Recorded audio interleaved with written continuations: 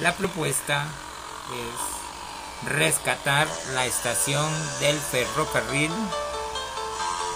y poner en práctica como base esta estación para atender a los atletas que entrenan la disciplina del triatlón.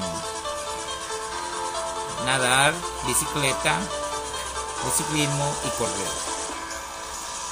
En la zona de Caldera no existe un lugar donde los atletas, la comunidad en general que llega a practicar deporte pueda guardar sus bicicletas, no existe un parqueo, no existen vestidores, no hay baños.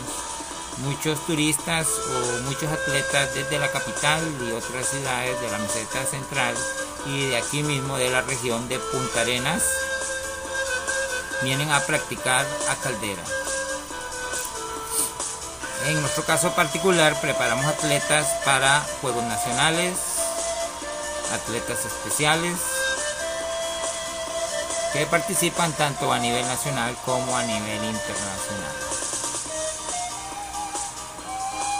Estos atletas encontramos algunos de ellos muy esforzados, muy disciplinados, algunos tienen como fin la competición, la recreación o mejorar su estilo de vida.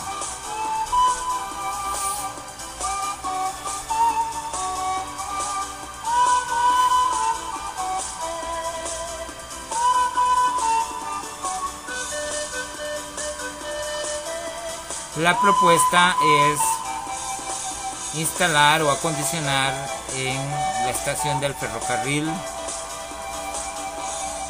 las condiciones para poder facilitarle a los atletas y la comunidad en general servicios de guardarropa o casilleros, tener baños y vestidores disponibles,